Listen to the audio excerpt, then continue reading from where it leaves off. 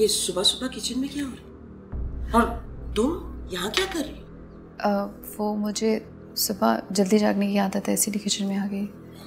ये अपनी छोटी सोच को बदल दो। ये घर उमर खान का है। तुम्हारा छोटा सा किचन नहीं है। या किचन के काम करने के लिए नौकर मौजूद है। और हाँ इस घर में सिर्फ़ मेरा राज है। और मेरी ही चलती है। अपने पाँव जमाने की कोशिश मत करना इस किचन में। समझी? नहीं मरियम मैम मेरा ऐसा कोई इरादा नहीं है मैं तो बस तुम्हारे इरादे तो मैं बहुत अच्छी तरह से समझती हूँ। उमर से शादी तुमने सिर्फ़ दौलत के लिए की थी। और अब तुम उस दौलत पे अपना हक जताना चाहती हो? नहीं मैं ऐसा कुछ नहीं चाहती। मैं तो बस इस घर के फर्द होने के नाते यहाँ पर आ गई थी। ठीक। तुम सिर्फ़ उमर की बीवी हो ना? तो उसकी बीवी बन के रहो। मेरी भाभी बनने की कोशिश मत करो और ना ही इस घर पे राज करने की कोशिश करो।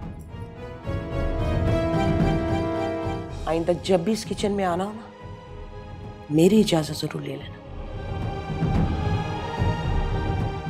सुनो, ये जूस तुम पी लेना और खबरदार अजान साहब को देने की ज़रूरत नहीं है। वो सिर्फ़ और सिर्फ़ मेरे हाथ का बना हुआ जूस पीता है, समझे?